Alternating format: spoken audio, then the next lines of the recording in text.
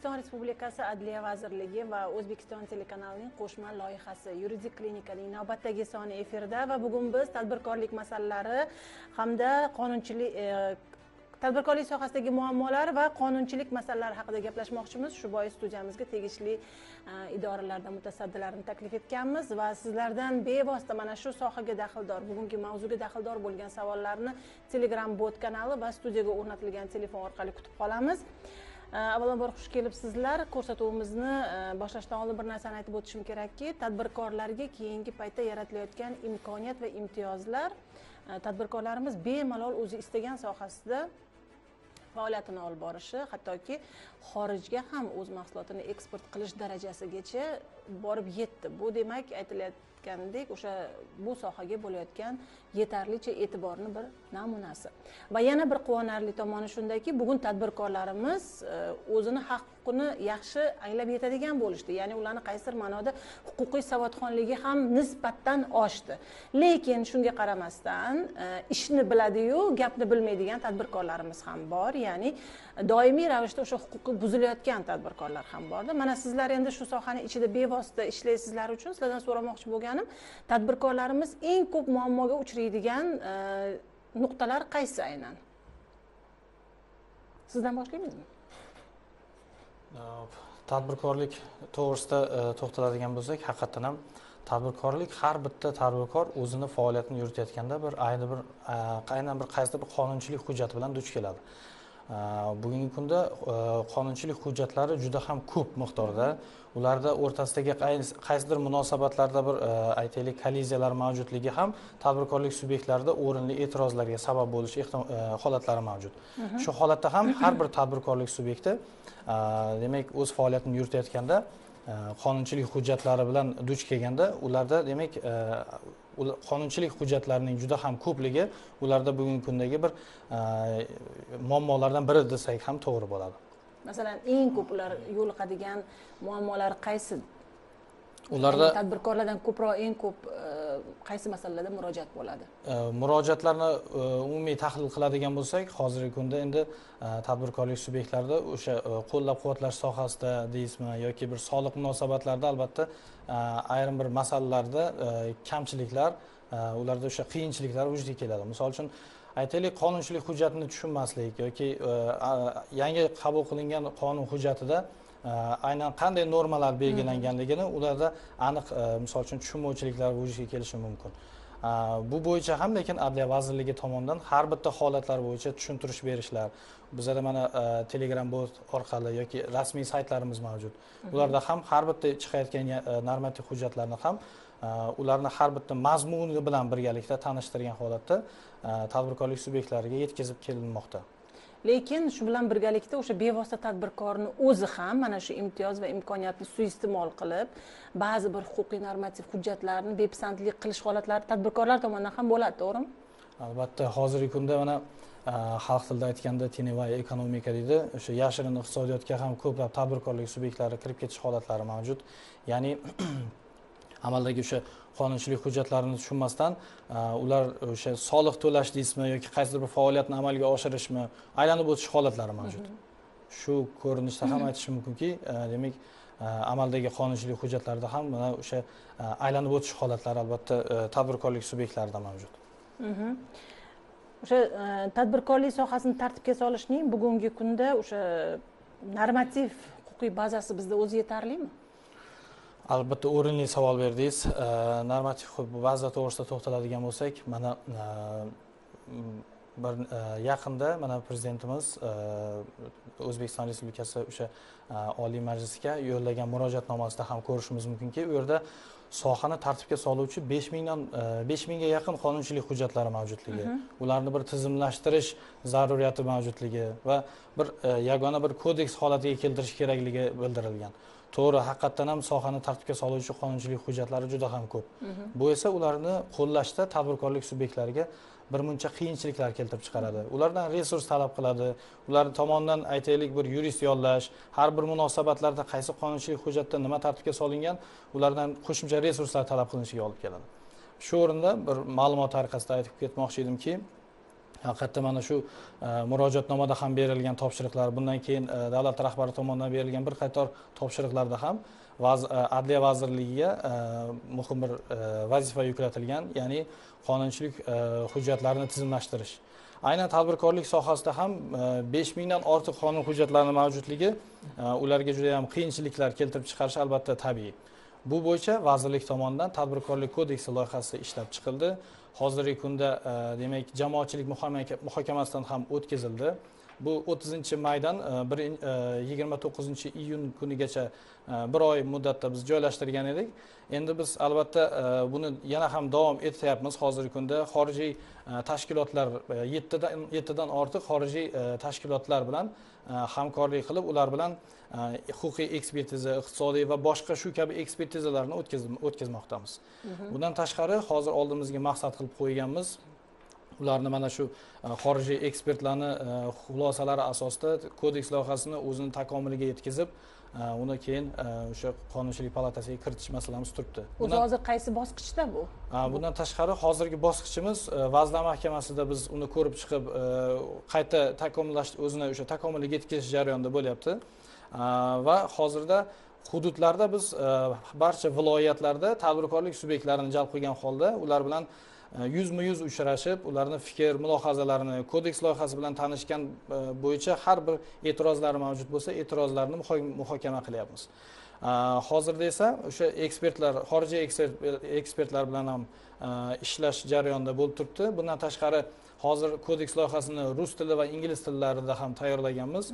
Chunki e, bu nafaqat e, o'sha davlat tilida balki boshqa tillarda ham tanishish e, nima deydi e, imkoniyatini yaratish uchun e, biz yaqinda e, ijtimoiy e, tarmoqlarda hammasida uni tarqatamiz. Barcha fuqarolardan tadbirkorlik subyektlaridan rus va ingliz tillarida ham tanishish imkoniyatini berish uchun ulardan aytib qolar edik bee'tibor bo'lmasliklarini. Tushunarli. O'sha vazirlikning asosiy bir vazifalaridan biri barcha sohalarda qonunchilikni tizimlashtirish va kodifikatsiyalash ishlarini samarali yo'lga qo'yish hisoblanadi. Tadbirkorlik sohasida tizimlashtirish ishlari olib borilyaptimi? Albatta to'g'ri aytdingiz haqiqatdan ham vazirligimizni e, asosiy o'sha qo'yilgan vazifalardan biri bu.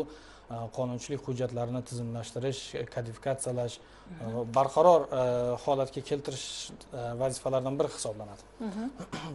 Mana boya aytib o'tganimdek aynan mana shu sohada ham tadbirkorlik sohasida mana hozir mavzumiz suhbati tadbirkorlik sohasida o'sha besh mingdan ortiq qonunchilik hujjatlarini biz o'rganib chiqib kodeks loyihasida to'qqizta qonun E, ikkita qonun loyihasi va o'ndan ortiq qonun hujjatlarini ham birlashtirishni nazarda tutganmiz. Bu albatta mana shu asosiy vazifalarimizdan biri hisoblangan o'sha tizimlashtirish kodifikatsiya yo'nalishida amalga oshirayotgan ishlarimiz hisoblanadi.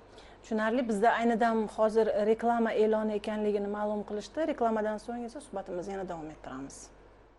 Demak biz yana efirdamiz o'zbekiston telekanalida yuridik klinikal sel loyihasining navbatdagi sonini tomosha qilyapsiz. Mana hozirgina siz aytdingizki o'sha tadbirkorlik kodeksini muhokamasi nihoyasiga yetdi deb albatta takliflar o'rganildi va ayni dam ham o'rganilish jarayonida.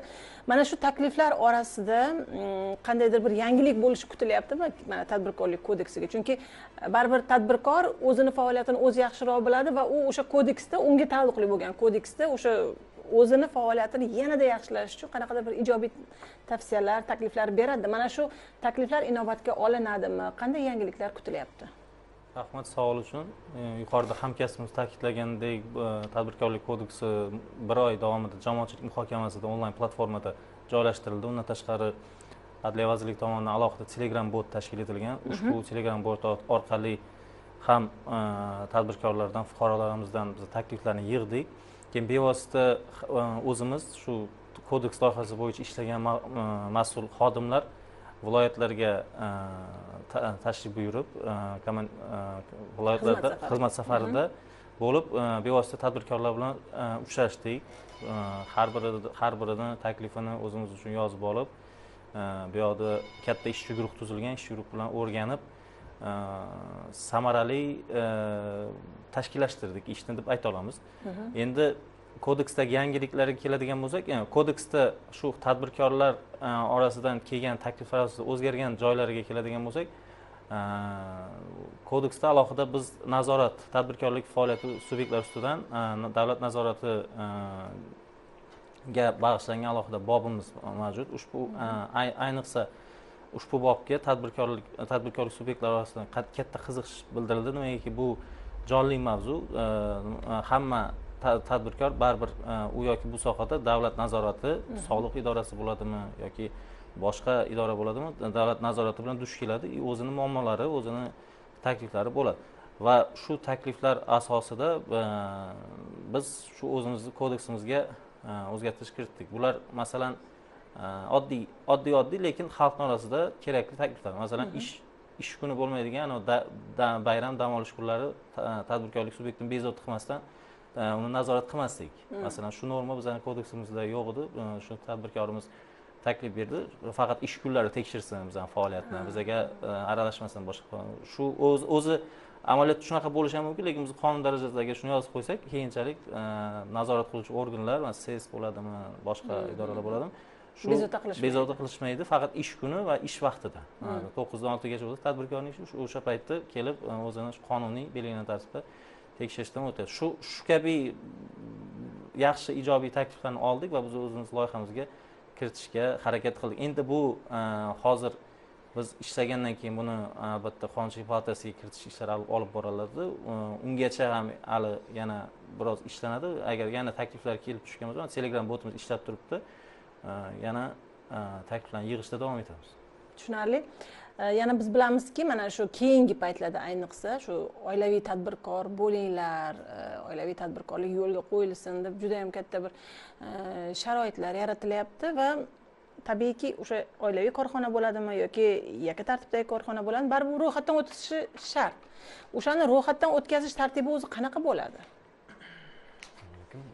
ro'yxatdan o'tkazish tartibi vazirlar mahkamasini ikki ming o'n yettinchi yil to'qqizinchi fevral oltmish oltinchi sonli qarori bilan tartibga solinadi nizom bor. Unga asosan davlat ro'yxatdan o'tish uchun davlat xizmatlari markazlariga yoki onlayn ravishda avtomatlashtirilgan tizimni sayti orqali fo tochka bir darcha tochka sayti orqali davlat ro'yxatidan o'tkazilsa bo'ladi. Uning uchun fuqaro o'z pasporti va yuridik shaxsga qo'ymoqchi bo'lgan firma nomini zaxiraga olib shu davlat xizmati markaziga yoki o'sha onlayn murojaat qiladi. Murojaat qilgandan keyin o'ttiz real vaqt vaqt rejimida o'ttiz daqiqa orasida davlat ro'yxatidan o'tkaziladi. Oilaviy tadbirkorlik bilan yattni tartibdan nima ro'yxatga o'tishi bir xilmi ikkalasiniki ham bir xil bo'ladi. Endi bitta farqi oilaviy korxona yuridik shaxs bo'ladi uni ta'sis hujjati bo'ladi. Yakka tartibli tadbirkorda ta'sis hujjati bo'lmaydi chunki u yuridik shaxs hisoblanmaydi. Jismoniy shaxs sifatida faoliyat yuritaveradi o'zi qaysi turdagi yuridik shaxslar dxmni ro'yxatidan dxm orqali ro'yxatdan o'tmasligi mumkin? o'tkazmasligimi? O'tmasligi ham mumkinmi o'zi? o'tkazmaydigan yuridik shaxslar ham bor. Bular misol uchun markaziy bank tomonidan ro'yxatdan o'tkazilgan banklar davlat ro'yxatidan o'tkazmaymiz. Vakolatxonalarni ro'yxatdan o'tkazmaymiz. Keyin nodavlat nochor tashkilotlarni ro'yxatdan o'tkazmaymiz. Ularni ro'yxatdan o'tkazuvchi organ boshqa tashkilot tushunarli. Mana telegram botga savollar kelib tushishni boshladi. Agar e'tirozlar bo'lmasa man shu savollarni o'qishni boshlasam har kim o'ziga tegishlisiga javob berib ketadi degan umiddaman. Ho'p qo'shimcha mas'uliyatli jamiyatni davlat ro'yxatidan o'tkazish mumkinmi va uning tartibi qanday deb so'ralyapti? Qo'shimcha mas'uliyatli jamiyat. jamiyat mumkin. Bu maslahat cheklangan jamiyatlari to'g'risidagi qonunda shu ikkala shakl bor. Bu ham именно shu oltmish olti sonli qaror nizomi bilan tartibga solinadi. Davlat o'zi ro'yxatidan qo'shimcha mas'uliyatli nima deydi qanaqa jamiyat bu? Mas'uliyati cheklangandan nimasi bilan farq qiladi? Bu yerda farqi jamiyat ishtirokchilarini javobgarlik masalasida bu yerda jamiyatni o'zi javobgar bo'ladi и ta'sischilar как solidar bo'lib o'shanda farqi bo'ladi bir biridan ta'sischilarni javobgarligi masalasida ro'yxatdan o'tkazish bo'yicha aytib bo'ldingiz ha fikringizni? ro'yxatdan o'tkazish masalasi bir xil ro'yxatdan o'tkaziladi. Hamma yuridik shaxs kabi shu davlat xizmatlari markaziga borgan holda yoki onlayn ravishda ro'yxatdan o'tsa bo'ladi. Bu yerda bitta holat mavjudidan qo'shimcha qilmoqchi edim. Bemalol. Tadbirkorlik subyekti o'sha davlat xizmatlariga e, markazlariga borganda ular uchun e, ular ro'yxati beriladi. Bugungi kunda tadbirkorlik subyekti e, qaysidir bir shaklda tashkiliy huquqiy shaklda tuzish imkoniyatlari bizda aniq belgilangan. O'sha davlat xizmatlari markaziga borganda ham ular uchun aniq ko'rsatiladi. Qanaqa misol uchun tadbirkorlikni faoliyatini boshlamoqchi va aynan qaysi turda uni o'z faoliyatini yuritishni ma'qul ko'radi o'ziga. Misol uchun aytaylik aksiyadorlik jamiyati mas'uliyati cheklangan jamiyat yoki qo'shimcha mas'uliyatli jamiyat. Mana yuqorida aytdik oilaviy korxona deysizmi yakka tartibdagi tadbirkormi tadbirkorlik o'z faoliyatini boshlash uchun fuqaro borganda uni qaysidir bittasini o'sha e, u yerda jadval belgilangan aynan qaysi birida yuritishni tanlash e, tanlash o'zini ixtiyori bo'ladi. Albatta o'sha ixtiyoriga qarab turib tanlab o'z faoliyatini boshlash imkoniyati mavjud. Tushunarli. Chet el investitsiyalari ishtirokidagi korxonalar davlat ro'yxatidan o'tkazilganda yoki qayta ro'yxatdan o'tkazilganda qancha davlat boji undiriladi deb so'ralyapti xorijiy korxonalar qo'shma korxonalar davlat ro'yxatidan o'tishganda ularni bu ustav fondiga bog'liq agar e, jamiyatni ishtirokchilar qatorida xorijiy fuqaro yoki xorijiy yuridik shaxs bo'lib uni jamiyat ustav fondi miqdori to'rt million so'mdan baland bo'lsa mhm. va chet el tomonidan ulushi o'n besh foizdan yuqori bo'lsa unda ular уже statusi qo'shma korxona va xorijiy korxonalarga tenglashtiriladi va davlat boji e, baza hisoblanish miqdorini o'n baravarida miqdorda to'lanadi oddiy yuridik shaxslar hozirgi kunda baza hisoblash miqdorini bir barobar to'lanadi. Hmm. ham mana ro'yxatdan o'tishda qayta ro'yxatdan o'tishda agar markazlarga borsa shu baza hisoblashni u miqdorida agar elektron qilishsa e, o'n foiz chegirma berilgan mhm. shunda to'qqiz minimalka bilan ro'yxatdan o'tkazishadi tushunarli. Firma ochmoqchi edim. O'zim istagan nomni qo'yishim mumkinmi? Bunda to'lov qancha bo'ladi? Firma nomini zaxiraga olish to'lov belgilanmagan. Bu bepul xizmat. Firma nomlari to'g'risidagi qonunda taqiqlangan firma nomlari so'zlar mavjud. Bor shulardan ishlatmagan holda o'zlariga xohlagan va tizim ruxsat bersa уже nomni zaxiraga olishlar taqiqlangan deganda misol uchun boshqa firma nomiga o'xshash bo'lsa. Brendga aylanib ulgurgan firma nomlariga. Aniq e, e, hammaga mashhur bo'lgan firma e, brend nomlarini ishlatib bo'lmaydi. Keyin davlatlarni so'zlarini nomlarini ishlatib bo'lmaydi. И aytgandek undan oldin avval yuridik shaxs bo'lib tugatilgan korxonani ham nomini ishlatib bo'lmaydi bular hammasi ro'yxatda turgan hmm. bo'ladi va bular agar tugatilgan tarzda ham bu elektron bazada turibdi. ishlatib bo'lmaydi firma nomi to'g'risida qonunda belgilangan tushunarli. Ho'p tadbirkorlik subyektlarini ixtiyoriy tugatish va ular faoliyatini to'xtatish mumkinmi? Buning tartibi qanday bo'ladi deb so'ralyapti yakka tartib tadbirkorlar e, faoliyatini vaqtincha to'xtatish imkoniyatiga ega. Vaqtincha to'xtatisha oladi istalgan paytda yana o'sha yakka tartibli tadbirkor patentini yana tiklash imkoniyati bor. Lekin yuridik shaxslarda vaqtincha to'xtatish degan tushuncha umuman yo'q. Yuridik shaxslar faqatgina tugatadi yoki ishlashi kerak. Bilasizmi shu joyda bir e, jonli misol aytmoqchiman. Bundan bir necha yil oldin bir o'n yilcha yil oldin bir o'rtog'im go'zallik saloni ochgan edida. U firma qildi. Hmm. yuridik maqomga ega bo'ladimi? keyin e, mana shu ma'lum muddat o'tdida go'zallik salonini yopishga to'g'ri keldi. Va shunda firmani saqlab qolgan holatda go'zallik salonini yuritmaydigan bo'ldida lekin soliq idorasidan qo'ng'iroq qilib firmani yana qachondir yuritmoqchi bo'lsangiz agar ushlab turgan bo'lsangiz baribir o'sha to'lovi bor. O'shani to'lab borishga majbursiz degan fikr aytildida. Hozir ham shu tartib bormi? Bu yoki o'sha masalan e, faoliyatini to'xtatdimi firma ham to'xtaydimi firma ham tugatiladimi yetti yuz to'rtinchi sonli vazirlar mahkamasi qaroriga asosan bu yerda tugatish tartibi belgilangan. Mhm. ixtiyoriy ravishda tugatishda e, fuqaro o'sha yuridik shaxsi qarori qabul qilingan kundan bir kun kechiktirmay davlat xizmatlari markaziga murojaat qiladi aynan tugatishni so'rab endi ikkinchisi bu e, faoliyat yuritmayotgan tashkilotlarda bu majburiy tartibda tugatiladi. Hisobotlarni topshirmayotgan bo'lsa unda soliq e, idoralari ma'lumot bergandan keyin muzlatiladi. Uch yil holatga muzlatiladi. Korxona agar jamiyat ta'sischilari e, ishlash niyatida kelishmasa avtomatik ravishda davlat reyestridan bular tugatilib reyestrdan chiqariladi. Yo'q lekin masalan firma ochiqligicha tursada keyin bu firmani faoliyatini boshqasiga o'zgartirib bo'lmaydi bo'ladi.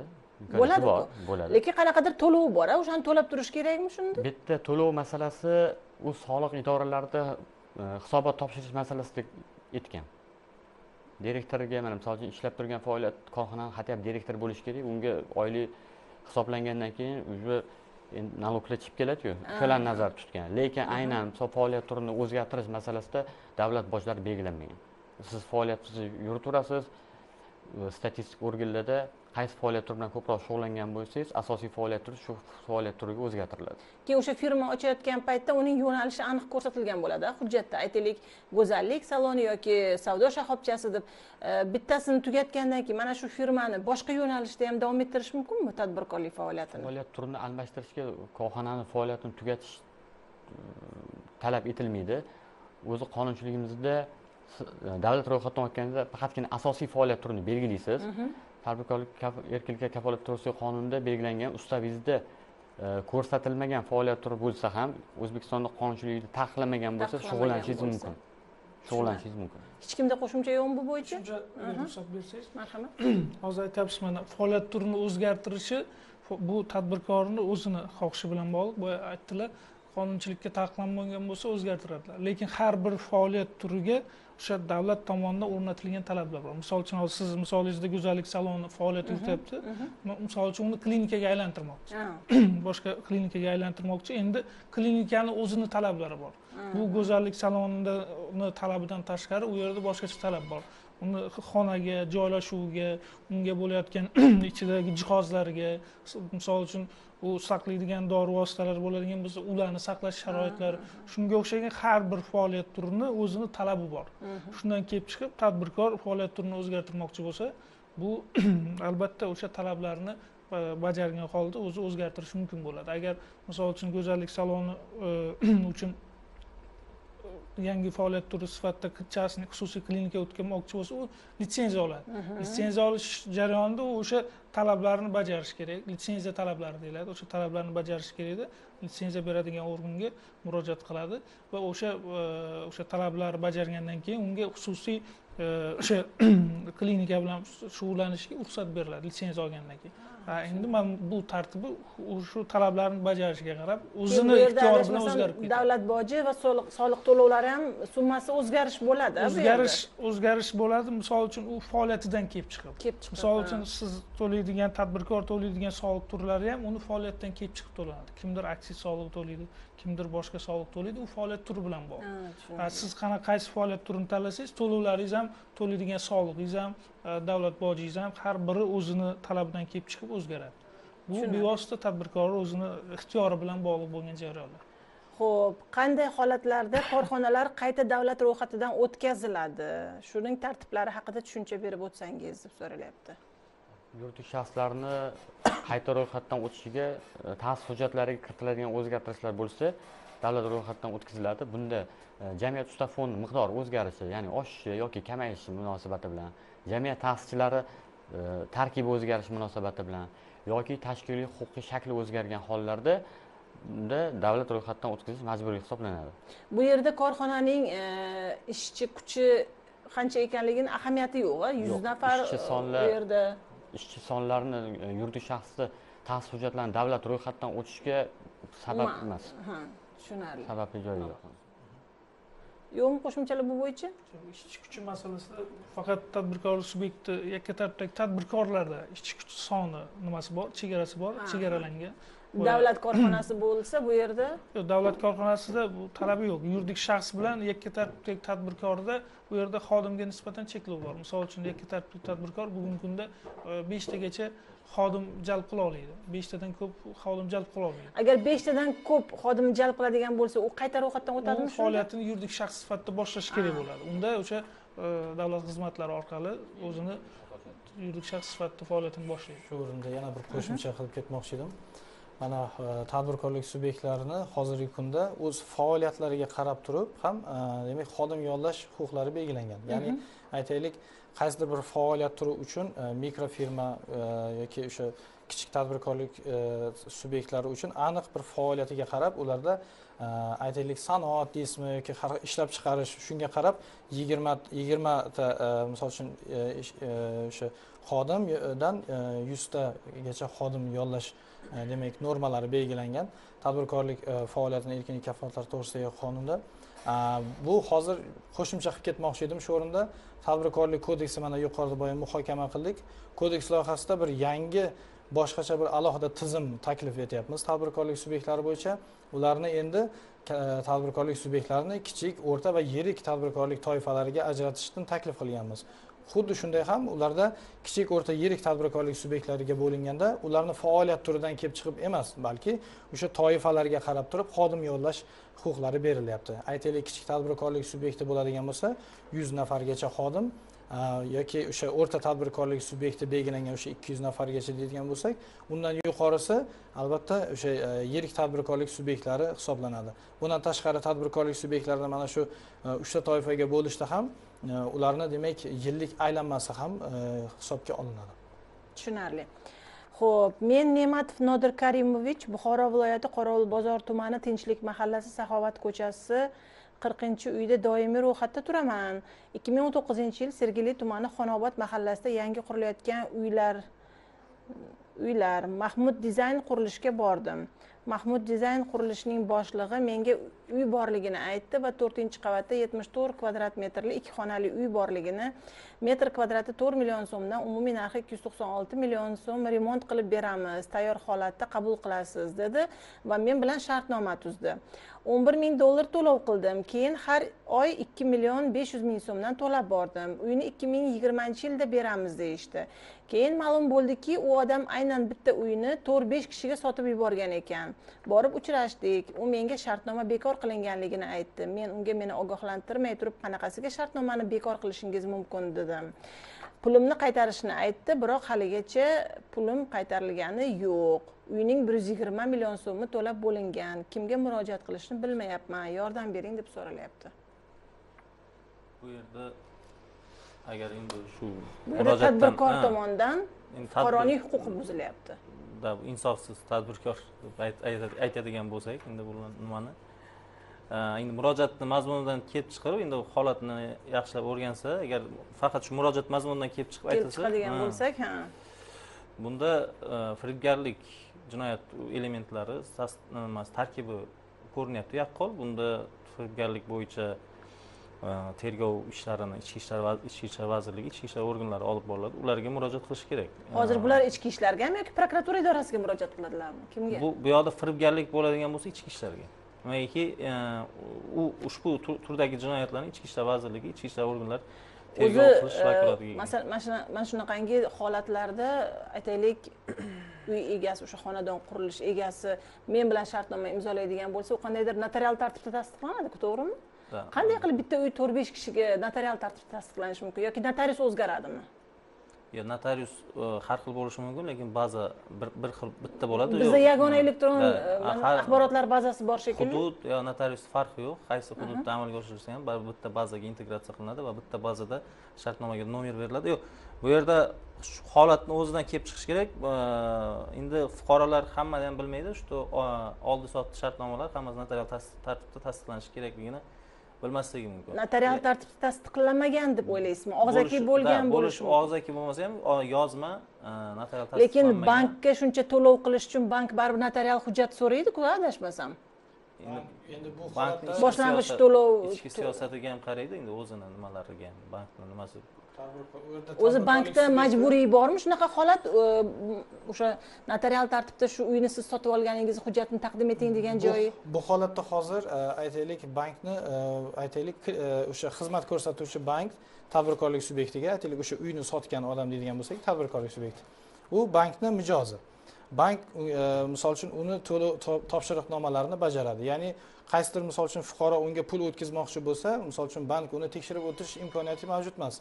Ya'ni unga faqat topshiriq berilgan shu summani bankka o'tkazib bering degan misol uchun topshiriq berilgan. Ya'ni fuqaro kelyapti u tadbirkorlik subyektiga pul o'tkazyapti. Yuqorida haqiqatdan ham hamkasbimiz to'g'ri aytib o'tib ketdi. Bu bo'yicha o'zi e, notariusda e, muammo mavjud bo'lmasligi kerak. Chunki bu onlayn yuritiladigan alohida bizda tizimlashtirilgan tizim mavjud. U tizim orqali o'sha shartnoma tuzmoqchi bo'lib agar notariusga borgan taqdirda ham notarius misol uchun buni aniq ko'rsatishi mumkin ko'rsatishi tabiiy boshqa fuqaroga rasmiylashtirilganligi bundan taraflarni har bittasini roziligi olinadi notariuslarda bundan tashqari yangi misol uchun tizimlar qilingan отпечатков пальцев deydi barmoq izi tekshiriladi o'sha registratsiya qilinayotganda ham davlat ro'yxatidan o'tkazilayotganda ham ularni ikkita tomon bir yerga keltirib har bittasi bo'yicha ulardan suhbat o'tkazilib barmoq izlari olingandan keyingina ruxsat beriladi. Mana xuddi shunday shartnoma haqida gap ketyapti hozir aytyaptilarki shartnoma tuzgan edik keyin shartnomani bekor qildik. Yo'q ular bir taraflama bekor qildi deyapti tadbirkorni aytyapti bu xabarsiz qoldim deyapti. Demak o'rtada shartnoma bo'lgan ya'ni bu shartnoma notarial tasdiqlanmagan nimaiki jismoniy imkoniyati yo'q. Bu tizim orqali bitta mol mulkni ikkita shartnoma qilib e, sotishga umuman hozir inson omilisiz. Bu tizim ishlaydi. E, u tizim hech qanaqa e, yo'llar bilan hozir biz bu odamga yoki masalan xuddi shu holatga ertaga men ham siz ham tushib qolishimiz mumkinda. E, bank meniki e, menda hammasi to'liq e, to'g'ri deb masalan tadbirkor ishontirishi mumkin. Har qanday istagan mijozinida mana shunday holatda aldanib qolmaslik uchun nima qilish kerak? Ho'p mana shartnomani olib to'g'ri notariusga borish kerakmi shunda? Birinchi navbatda mol mulk bilan bog'liq har bir shartnoma oldi sotdi bo'ladimi ijara bo'ladimi birinchi navbatda o'zi qonuniy talabi ham shu notarial tasdiqlanishi kerak. Notarius orqali buni rasmiylashtirib qonuniylashtirish kerak. Э, agar qo'lda уже qo'lida notarius э, tomonidan tasdiqlangan shartnoma bo'lsa уже э, bu bo'yicha hech qanaqa tergov organlariga qatnab sudma sud qatnashish ham shart bo'lmaydi. Fuqarolik sudiga boriladi. U уже bu shartnomaviy munosabatlar bo'lib fuqarolik sudi shunday qaror chiqarib beradi. Undirish bo'yicha majburiy ijro byurosi keyin shu sud qarori asosida zararni shu to'langan pulni qaytarish choralarini ko'radi. Hozir bu yerdagi notarial tasdiqlanmagan shartnoma to'rt asosida besh kishiga sotibdi to'rt beshda agar shunday holat bo'ladigan bo'lsa bu уже jinoyat hisoblanadi. Firibgarlik o'sha firmaga nisbatan jinoyat ish qo'zg'ashga asos bor a? Ariza bilan murojaat qilsa holat o'rganilib tergov holati tekshiruv amal- amalga oshirilib. Hozir savolni ikkinchi qismini o'qimadim. Ayni dam ushbu fuqaro e, o'zbekistondan tashqarida xorijda o'sha ishlash uchun ketgan ekanlar. O'sha yerdan turib ham ariza bilan murojaat qilishi mumkinmi unaqa oila a'zolari qonuniy vakillari shu o'zini yaqin qarindoshlari uni e, qonuniy vakili ekanligini tasdiqlaydigan hujjat bo'lishi shartmi bu yerda? Yo'q agar rafiqasi turmush o'rtog'i bo'lsa u unga shart emas. E, hech qanaqa hujjat qonuniy vakil bo'ladi. Shu e, qonuniy vakili sifatida borib erini o'rnidan o'sha tegishli idoralarga ariza yozib murojaat ichki ishlar organlariga murojaat qiladi и holat o'rganilib chiqadi. Tushunarli. Bu yerda ko'rinib turibdi adashmasam bu notarial tasdiqlanmagan shartnoma. Tadbirkor bilan bevosita to'g'ridan to'g'ri tuzilgan. Shu uchun ham e, tadbirkor subyekti yana boshqa odamlar bilan ham shu aynan shu uyni shartnoma qilib bergan bo'lishi mumkin. Agar bu notarial tasdiqlanganda boya siz aytganingizdek bankka borganda yoki e, boshqa oldi sotdi qilayotganda bu yerda to'g'ridan to'g'ri уже buni sotishga nima cheklov o'rnatilgan bo'ladi. Taqiq qo'yilgan bo'ladi. Xuddi mana shu joyda fuqarolarga bir murojaat qilmoqchi edimda masalan har bitta davlatda faoliyat yuritadigan har bitta tizim har bitta strukturani o'zini zimmasida turgan majburiyati va vazifasi bor. Jumladan notarial idorasining ham.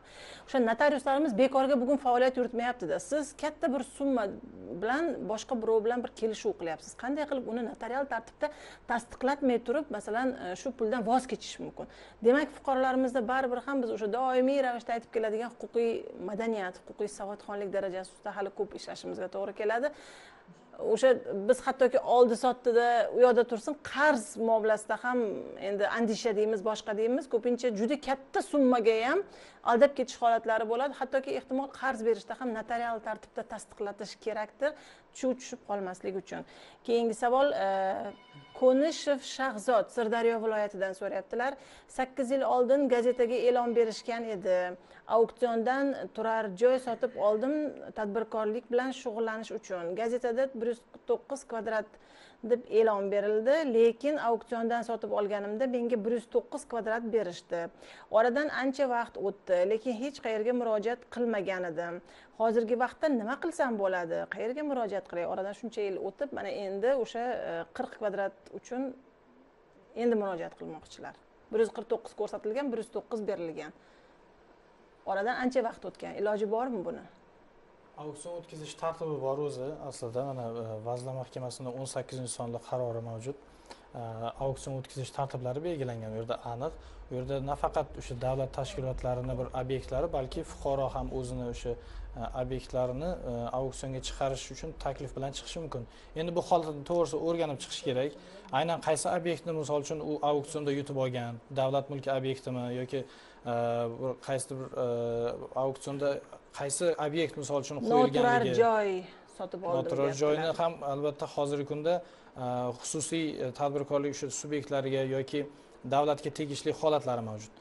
O'shaning uchun ham auksion o'tkazish tartibi mavjud. Bu bo'yicha davlat e, aktivlarini boshqarish agentligida alohida davlat untar korxonasi mavjud. Auksionlarni o'tkazish tartiblari bo'yicha e, ular mas'ul hisoblanadi shu holatda demak e, fuqaroga e, maslahat bergan bo'lar edik shu davlat unitar korxonasiga. Ya'ni o'sha auksion o'tkazish bo'yicha davlat unitar korxonasiga murojaat qilish kerak. Chunki e, auksiondagi berilgan har bir ma'lumot uchun ular javobgar hisoblanadi. Chunki o'sha berilgan ma'lumotlarni fuqaro boshida funksiyalari mavjud. Ya'ni o'sha Э, fuqaro borib birinchi o'rinda joyni ko'rib kelish э, demak э, funksiyalari e, berilgan. Va bundan tashqari o'sha auksionda yutib olgandan keyin ham u bayon e, orqali rasmiylashtirilib unga e, o'sha huquq beriladi. Shu holatda endi umumiy qilib aytadigan bo'lsak auksion holatida o'sha alohida mas'ul demak davlat tashkiloti tuzilgan bu bo'yicha o'sha davlat tashkilotiga birinchi o'rinda murojaat qilish kerak. Yo'q hozir mana siz aytyapsizki davlatga tegishli hudud bo'lishi mumkin. Obyekt obyekt bo'lishi mumkin yoki davlatga tegishli bo'lmagan obyekt bo'lishi mumkin deyapsizda baribir bu hujjatlarda aks etadiku masalan u sakkiz yil oldin bo'lganmi? Hozir bo'lyaptimi? To'g'rimi albatta bu auksionga chiqarilayotganda bu obyekt kimga tegishliligi bu obyektni hozirgi holati har bittasi bo'yicha u yerda ma'lumot keltiriladi. Pasporti bo'ladiku albatta pasportida misol uchun qachon nechinchi yil misol uchun u e, qurilgan yoki qachon e, holati qanaqa? Misol aytaylik kommunal xizmatlari e, ulanganligi ulanmaganligi barcha holatlar informatsiya o'sha mavjud bo'ladi pasportida. Endi sakkiz yil oldin o'sha qirq kvadrat metrni talab qilib chiqmaganlar oradan shuncha yil o'tyapti. Hozir yana auksionda ishtirok etib o'sha qirq kvadrat metrni oladilarmi agar mabodo shunday bir imkoniyat bularga beriladigan bo'lsa? U qirq kvadrat uchun ham auksionda qatnashadilarmi yana? Endi e, bu yerda e, manimcha bayon bo'ladi shartnoma bo'ladi qo'lida hujjati bor. U auksion bo'layotgan paytda o'sha yerda o'sha kvadrat metr hammasi ochiq bo'ladida ochiq bo'ladi. Endi agar u misol uchun uni qo'lidagi bayonda boshqacha e, kvadrat metr hozir uyni holati boshqacha turar joy holati boshqacha bo'ladigan bo'lsa unda u murojaat qilsa unga aynan boshqa e, nima qilib berilmasligi mumkin o'sha qirq kvadrat lekin unga kompensatsiya qilib berish imkoniyati bor. qirq kvadratni kompensatsiya to'lovini qilib berishlari berish imkoniyati bor. Agar bu narsa haqiqatdan o'sha auksion jarayonida noto'g'ri qilinganligi buni isbotlash kerak isbotlansa bu bevosita sud bilan bog'liq bo'lgan nega hujjatda bir yuz qirq to'qqiz ko'rsatilgan bo'lsa o'lchab chiqishsa bir yuz qirq bir yuz to'qqiz chiqsa shuni o'zi isbot bo'la olmaydimi? Albatta sud bo'lishi kerakmi? Yo'q bu unaqa hujjatda bunaqa e, o'zi o'lchasa bunaqa bo'lishi kerak emas chunki uni kadastr bo'ladi. Kadastrda har bir nimani o'sha o'zini kvadrat metri belgilangan bo'ladi. Davlat o'sha kvadrat metri bular aytgandek shunaqa chiqadigan bo'lsada haqiqatda bir yuz qirq to'qqiz shartnomada ko'rsatilgan kadastrda bir yuz to'qqiz deb agar haqiqatda bular aytadigandek bo'ladigan bo'lsa shuni o'zi asos bo'la oladimi? Shartnomani o'zi sudgacha bormasligi ham mumkinmi yo albatta sud bo'ladimi bu yerda? Yo'q bu yerda misol uchun o'sha kadastrga borib uni noto'g'riligini isbotlab berish kerak. Chunki unga e, o'sha auksionda u to'lagan summasi bor. O'sha hmm. e, nimaga kvadrat metrga. Qaytarib berish imkoniyati bo'lmaydigan bo'lsa o'sha kvadratni u albatta sud orqali keyin kompensatsiya qilishiga to'g'ri keladi. U davlat organi ham o'zidan o'zi e, nima qilib bermaydi unga. Davlat organi bilan fuqaro o'rtasidagi munosabatlar shu huquqiy nizolar ma'muriy sudlar tomonidan hal qilinadi ma'muriy sudlarga agar nima qilsa murojaat qilsa agar hozir ma'muriy sudga murojaat qilish so'raladi bulardan mavjud bo'lsa haqiqatdan ham agar bu kvadrat metrlarni boya aytgandek kadastr hujjatlari bilan birgalikda solishtirib ko'rish kerak. Balki demak birinchi navbatda siz uyingizdagi o'sha kadastr hujjatini ko'ring hurmatli fuqaro. Shartnoma bo'ladimi bu yerda? Shartnoma ham bo'ladi bayon bu e, auksion natijalari bo'yicha shartnoma tuziladi mana bu bir yuz qirq to'qqiz e, gazetada bir yuz qirq to'qqiz deb ko'rsatilgan deyaptilar ehtimol gazetada raqam e'londa noto'g'ri ketgan bo'lishi mumkin lekin bayonnomada уже bir yuz to'qqiz qilib ko'rsat- ko'rsatilgan bo'lishi mumkin. Bayonnomani bir nusxasi o'sha fuqaroda ham bo'ladimi bo'ladi. Imzolaydi bu asos bo'ladi mulk huquqini keyin rasmiylashtirish demak bayonnomani va kadastr hujjatingizni bir ko'ring. Ehtimol gazetadagi e'londa raqam noto'g'ri ketib qolgan bo'lishi ham mumkin ekan mana va o'shanda e, o'sha e, auksionda qanday narx bilan sotib olganliklarini ham ular isbotlab berishi kerak a siz bir yuz qirq to'qqizga emas bir yuz to'qqizga to'lagansiz. Tushunarli. shartnomasida yozilgan bo'ladi hammasi hammasi ko'rsatilgan bo'ladi. Tushunarli qashqadaryo viloyatidan g'aniyeva o'nsun so'rayaptilar. Fermer xo'jaligi rahbariman yigirma to'rtta zaxiradagi fermer xo'jaliklarini bizga qo'shib berishdi. Lekin ikkita fermer xo'jaligi davlat ro'yxatidan o'tmasdan soliq to'lamasdan alohida fermer xo'jaligi bo'lib chiqib ketdi. Oliy sud ham qaror chiqarib berdi. Biz to'lab kelgan soliqlar va moddiy zararlarni kim to'lab beradi? Shu vaqtgacha hamma soliqlarni o'zimiz to'lab kelganmiz. Demak narigi ikkita fermer xo'jaligi uchun bu to'lagan ekan. Endi o'shalarni manimcha zararni undirmoqchilar. Kim javob beradi? Ikkita fuqaro o'rtasidagi munosabat albatta bu holatda. Bu fuqarolik tadbirkorlik subyekti o'rtasida bo'lyapti munosabatlar. Endi birinchi o'rinda ular o'rtasida har bir tuzilayotgan boya to'g'ri aytib o'tdingiz. O'zi har qanday shu e, pul bilan bog'liq o'zi fuqarolik kodeksida ham ko'rsatilgan o'n e, e, bazaviy hisoblash miqdorining o'n baravaridan yuqori bo'lgan holatlarda o'sha notarial tasdiqlanish holati mavjud. Bu holatda ham o'zi tadbirkorlik faoliyati o'zi e, tavakkalchilik. U qaysidir bir fuqaro bilan yoki tadbirkorlik subyekti bilan e, munosabatga kirishib foyda topishni ko'zlayaptimi? Demak u bilan qaysidir ma'noda shartnomaviy huquqiy munosabatga kirishishi kerak.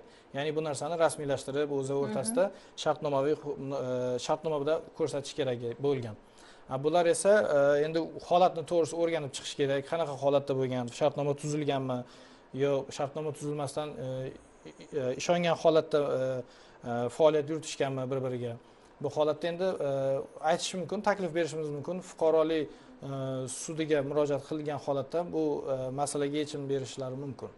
Hozir mana bu yerda aytilyaptiki fermer xo'jaligiga yigirma to'rtta zaxiradagi fermer xo'jaliklarini qo'shib berishdi deyaptida. Va ikkita o'sha fermer xo'jaligi e, chiqib ketdi alohida bo'lib deyapti. Bir hujjatda baribir yigirma to'rtta xo'jalikni sizga qo'shdik degan joyi bo'ladimi? Endi bu holat to'g'risi sal tushunarsizroq ekan. Chunki e, tadbirkorlik subyektida misol uchun aytaylik e, qo'shilish holati o'zi mana tadbirkorlik fuqarolik kodeksida ham mavjud. E, Э, tadbirkorlik subyektini qayta tashkil etish masalasi bor yoki aytaylik mas'uliyati cheklangan jamiyat bo'ladigan bo'lsa unga bir nechta tadbirkorlik subyekti e, misol uchun muassis sifatida misol uchun ular birlashish holatlari mavjud e, yoki bir nechta tadbirkorlik subyektlarini o'zlari bir bir e, birlashma qilib tuzgan holatda faoliyat yuritishi mumkin. Endi fermer xo'jaliklari holatida ham misol uchun ular bir birlashgan holatda faoliyat yuritishlari faoliyat yuritishi mumkin. Lekin bu soliq bilan bog'liq munosabatlarda ular har bittasi tadbirkorlik subyekti sifatida e, demak e, alohida soliq e, soliqqa tortiladi. Endi bu holatda ikkita fermer xo'jaligi alohida fermer xo'jaligi bo'lib chiqib ketishi uchun ham qandaydir bir huquqiy asos bo'lishi kerakku to'g'rimi? albatta ular o'rtasidagi o'sha aytganimizdek shartnoma bo'ladigan bo'lsa ham ular o'sha shartnoma asosida chiqib ketishi kerak. Yoki bir tadbirkorlik subyektiga birlashgan bo'lgan taqdirda ham ular o'sha qayta registratsiyadan davlat ro'yxatidan o'tkazishda ham aniq ular ko'rsatiladi bu ma'lumotlar. Oliy sud qaror chiqarib berdi deyapti. Bu yerda qanday qaror haqida gap ketayotgan bo'lishi mumkin? Buni aniqlashtirish kerak. To'g'risi chunki aytayotgan ma'lumotlar juda noaniq noaniq. Chunki tadbir e, fermer xo'jaliklari har biri davlat bilan o'rtada shartnoma bo'ladi. Ijara shartnomasi bo'ladi. O'sha berilayotgan yerga nisbatan shartnoma tuziladi. Hozir misol uchun nechtadir fermer xo'jaligini bitta 24. fermer xo'jaligiga qo'shib yuborish degan narsa u sa- sal boshqacha narsa bo'lishi mumkin. chunki fermer xo'jaligini qo'shib yuborish uchun u fermer xo'jaliklari e, o'sha shartnomasini bekor qilib topshirish kerak. U keyin boshqa yoki bu bir assotsiatsiya bo'lishi kerakdir ehtimoli. qanaqadir bir uyushmaga o'xshagan nimadir bo'lishi kerakda uchastkasini balki nazar- nazarda tutayotganda. Fermer uchastkasi deganda ta- tashkiliy huquqiy yuridik shaxs emas yer uchastkasini qo'shib olgan. Keyin shu ikkita yer uchastkasini отдельный fermer xo'jaligi ochib ular e, alohida chiqqan bo'lishi mumkin. Men o'sha ko'rsatuv boshida biz aytdikku ishni biladi lekin hujjatlarni yaxshi tushunmaydi dedikku. Mana e, gap so'zlaridan ko'rinib turibdi. Anchadan buyon shu fermer xo'jaligini rahbari ekanlar. Demak yer bilan muomala qilishni biladi. Fermer xo'jaligi bo'lgandan so'ng e, nimadan daromad qilishni ham biladi. Biroq afsuski normativ huquqiy hujjatlardan xabari yo'q. Masalan yigirma to'rtta zaxiradagi fermer xo'jaliklarini qo'shib berish uchun ham qandaydir bir huquqiy asos bo'lishi kerakligini va ikkita fermer xo'jaligi o'zidan o'zi chiqib ketsa ham bularni bexabar qolishlari umuman mumkin emas. manimcha bu yerda hokim bilan nizolashyapti fermerimiz yurtdoshimiz. Zaxiradagi fermer xo'jaliklar degani zaxiradagi qishloq xo'jaligiga mo'ljallangan yer uchastkalari nazarda tutiladi. Endi xalq tilida ular fermer xo'jaligi deb aytyaptilar yigirma to'rtta endi konturli yer uchastkalari ularga qo'shib berilgan va ikkita yer uchastkasini keyin boshqa fermer xo'jaligiga ajratib bergan. U o'zidan o'zi ajratib yetolmaydi uni hokim qarori bilan ajratishadi. E, ya'ni e, fuqaroga qo'shib berilgan yigirma to'rttadan keyin ular ikkitasini olib qo'yishgan. U uchun soliq to'lagan e, qaragan yerga lekin ikkitasini alohida olib уже boshqa fermer xo'jaligiga berishgan ijara shartnoma asosida. Bu yerda hokim qarorini huquqiy jihatdan baho berish kerak. Oliy sud qaror chiqqan bo'lsa shu hokimni qarorini yoki noqonuniy deb topgan bo'lishi mumkin yoki qonuniy deb topgan bo'lishi mumkin. Endi shu oliy sudni qaroriga boshqasiga bir o'rganib chiqish kerak buni atroflicha. To'lagan soliqlari ham misol uchun u ikkita fermer xo'jaligi ajralib chiqqan bo'lsa o'sha davr uchun to'lagani qoladi. Va misol uchun ajralib chiqqandan keyingi davr uchun u uni ham ajralib chiqqani tagida huquqiy asosi bo'ladi. U uchun o'sha ajralib chiqqan tadbirkorlik subyekti fermer o'zi alohida soliq to'lashi kerak bo'ladi. Bu bevosita o'sha soliq organlariga yoki e, o'sha nimaga soliq organlariga murojaat qilish natijasida buni hal qilish mumkin bo'ladi. Qaytarib berish ularda nimasi bor? Qonunchilikda tartib belgilangan. Mana shu yerda hozir ayni e, o'sha tadbirkorlarni huquqi bilan bevosita e, bularni haq huquqini nisbatan oddiy fuqaroga nisbatan yaxshi biladigan bir mutaxassislarni borligidan foydalanib bir savol bermoqchiman sizlarga bugun mana shu fermer xo'jaligini ochish arafasida turgan yoki ayni dam ishlayotgan va o'zini o'sha haq huquqini bilmagani uchun yillar davomida doimiy ravishda bir xil xatoni qaytarib kelayotgan mana shu singari fermer xo'jaliklariga biz nima deb maslahat bera olamiz masalan? Bu fermer xo'jaligini ochishdan oldin nimalarni bilishi kerak? Fuqaro tadbirkorlik subyektiga aylanishdan oldin u nimani bilishi kerak? Mana hozir adliya vazirligi tomonidan ishlab chiqilayotgan tadbirkorlik kodeksi bu bevosita siz aytayotgan muammolarni oldini olishga biz e'tibor berilganda sababi bugungi kunda tadbirkorlik subyekti bitta faoliyatni amalga oshirish uchun bir qancha qonun hujjatlariga murojaat qilish kerak. Ularni bilish uchunda misol uchun boya besh mingga yaqin qonunchilik hujjati bor. Fermer xo'jaligi fermer faoliyatini tartibga soladigan alohida qonun bor. Undan tashqari soliq kodeksi bor u soliqlar bilan bog'liq u yer ajratish bilan e, olish bilan borib tanlov o'tkazish bilan bog'liq yana alohida hujjatlar bor. Bu bitta faoliyatni o'zida o'ndan ortiq qonunchilik hujjatiga murojaat qilishga to'g'ri keladi. Shuning uchun biz albatta o'sha tadbirkorlik subyektlariga har faoliyat boshlashidan oldin faoliyat boshlashdan oldin advokatlar bor yoki xususiy yuridik xizmat ko'rsatadigan nimalar bor? Subyektlar bor. olish kerakda ehtimol yurist shtatidan foydalanish kerak yurist olmasa ham ularni xizmatidan foydalanish mumkin. Ular o'sha sizga e, shartnomangizni tuzadigan shartnomangizni qiladigan xatti harakatlaringiz bo'yicha e, butun boshli tushuntirish bera oladi shartnomalaringizni ko'rib berish e, mhm. imkoniyati bor ularda. Xuddi shunaqa faoliyat boshlashidan oldin barcha qonuniy o'zini huquqlarini uni asoslarini bilish kerak. Chunki tadbirkorlik subyektlari qonunchilikni bilmaganligi yoki o'zi o'sha yaxshi bilmaganligi natijasida ko'p aldanib qolayotgan holatlar borda har xil boya yuqorida aytgan aytdik firibgarlik dedik shunga o'xshagan holatlar bor. Bu o'sha o'zini huquqlarini to'g'ri e, tushunib yetmagandan undan to'g'ri foydalanmaganligi natijasida yuzaga keladigan. Shuning uchun biz albatta shunaqa maslahat bera olamiz durdona bizga yana savollar bormi? Telefondan tushayotgan bo'lsa yetkazing. Men esa yana navbatdagi savolni o'qiyman. Kompleks tadbirkorlik litsenziyasi franshizing shartnomasini davlat ro'yxatidan o'tkazish tartibi qanday va bunda davlat boji qancha to'lanadi deb so'ralyapti. Bu vazirlar mahkamasini o'sha e, ikki ming o'ninchi yil ikki yuz qirq to'rtinchi son e, qarori bilan tasdiqlangan nizom bilan tartibga solingan. Bu holatda o'sha e, aytaylik bazaviy hisoblash miqdorining uchdan bir qismi miqdorida e, o'sha davlat bojini e, to'lagan holatda ro'yxatdan o'tkazish mumkin. Mhm. bu demak o'sha bazaviy hisoblash miqdorining uchdan bir qismi hozirgi kunda shu yuz ming so'mni tashkil qiladi. Tushunarli. Qashqadaryo viloyatidan anvar ismoilov so'rayaptilar. Noturar joyim bor hozirgi vaqtda bo'sh yotibdi. Men turar joyga aylantirsam bo'ladimi? Qayerga murojaat qilsam bo'ladi deb so'ralyapti noturar joyni turar joyga aylantirish masalasi. Misoliy qaroriga asosan bu xizmat turi davlat xizmatlari markazi va yagona interaktiv portal orqali amalga oshiriladi. Ariza berish kerak bo'ladi. O'sha turar joyi davlat xizmatlari markaziga yoki ypgu orqali elektron tartibda ariza beriladi. Va qancha muddatda bularga javobi keladi? Besh ish kunda yerda tuman arxitektor tomonidan yoki ruxsatnoma beriladi yoki asoslantirilgan rad javobi beriladi. Shunda hamki agar bular noturar joyni turar joyga aylantiradigan bo'lsalar qurilish olib borishlari uchun ham yana alohida ruxsat olish kerakmi? Bu bitta shu ruxsatnomani o'zida hammasi aks birinchi ruxsatnoma olinadi. Undan keyin уже loyiha tashkilotlariga borib loyiha tayinlanadi. Loyihasi keyin arxitektura shahar boshqarmalaridan ro'yxatdan o'tkazilgandan keyingina уже qurilishni boshlaydi. Tushunarli surxondaryo viloyatidan tog'ay nazarov nurali. Bir ming to'qqiz yuz sakson yettinchi yil yer sotib olganmiz. Inobatga olib qo'yasizlar sakson yettinchi yil haqida gap ketyapti. Lekin kadastri yo'q. Yer esa onamning nomlarida. Onam vafot etganlar. Hozirgi vaqtda kadastr kadastrdan o'tkazsam bo'ladimi deyilyapti endi.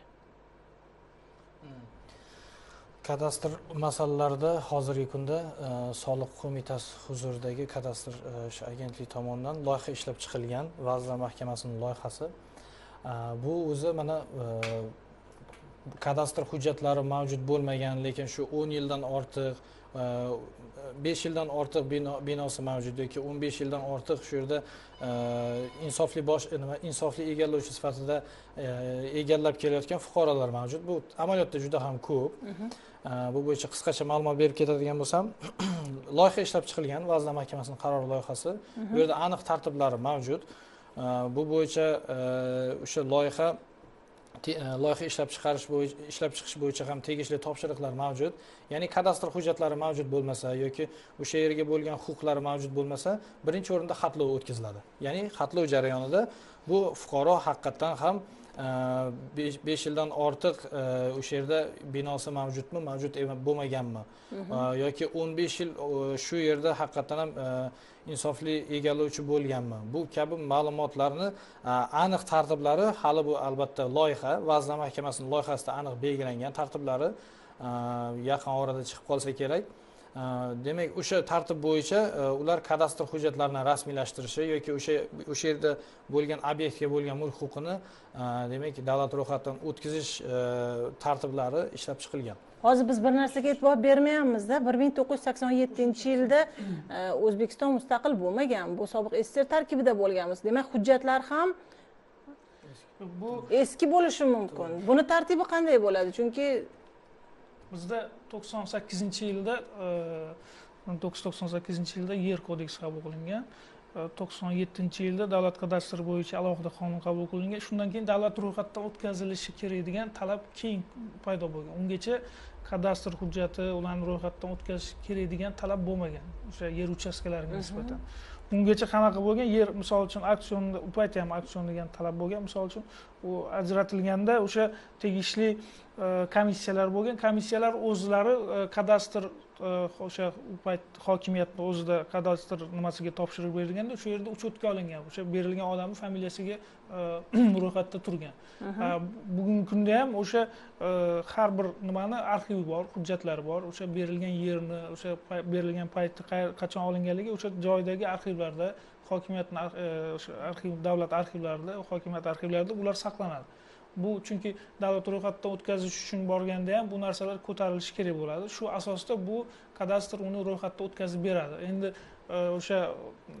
nomida e, o'sha onalarini nomida bo'lgan bo'lsa buni nimalari bor? E, misol uchun ro'yxatdan o'tkazishda talablari bor uni boshqa qarindoshlari aka ukalari shunga o'xshagan hozir qonunchilik talablari bor. Shu talablarni ham bajarishi ho'p agar yer vafot etgan odamdan ayni damda yashayotgan bir u kishining farzandi nomiga o'tadigan bo'lsa bu yerda yer qaytadan baholanadimi endi? Yo'q bu yerda hujjatlashtirish jarayonida yer baholanadimi nima bo'ladi? Yoki osongina qilib bu yer onasini nomida edi mana endi meros sifatida o'g'liga o'tdi deyiladimi? Qanaqa bo'ladi buni tartibi? Hozir shu aytgan narsam o'sha e, meros sifatida bugun qonunchilik talablari bor o'sha aka ukalar o'rtasida u nima qilinadi misol uchun? Yo hammasi rozimiz rozimiz deydigan bo'lsa. shu talablar meros nimalari bo'yicha bu ro'yxatda o'tkazish mumkin. Lekin buni o'sha paytdagi hujjatlari bor. Buni arxivdan ko'tarib uni olib borish kerak.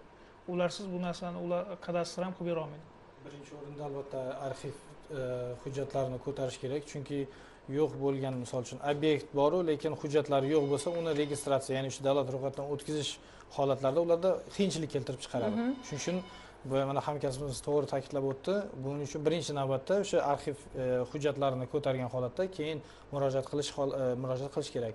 Bundan keyin albatta fuqarolik munosabatlari vujudga keladi. Aytaylik vafot etgan bo'lsa o'sha e, qonuniy yoki va- vasiyat qilib qoldirganmi yoki qonuniy merosxo'rlarimi kabi fuqarolik kodeksida aniq moddalar bilan tartibga solingan shu munosabatlar vujudga keladi bu esa agar hujjat yo'qotilgan yo'qolgan bo'lsa yo topilmasa nima bo'ladi shunda?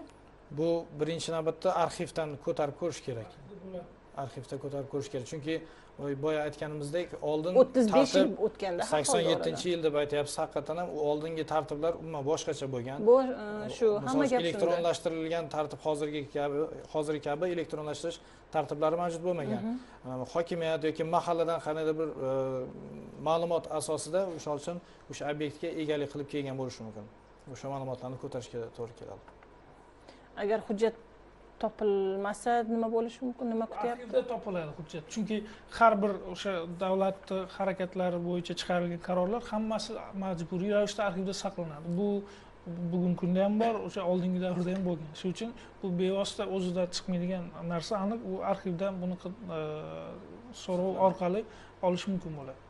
Tushunarli. Namangan viloyatidan manzura sodiqova so'rayaptilar. Fermer xo'jaligi rahbariman yerimizni kadastrdan o'tkazish uchun borgandik lekin yeringiz davlat ro'yxatidan o'tmagan deb qaytarib berishibdi. Qaytarib yuborishibdi. Lekin biz o'n ikki yildan buyon soliqni qayerga to'lab kelyapmiz unda? Davlat ro'yxatidan o'tmagan yer uchun soliq to'langan bo'lishi mumkinmi? Chunki shartnomasi bor olinganligi to'g'risida u soliq to'lashiga buni nimasi yo'q?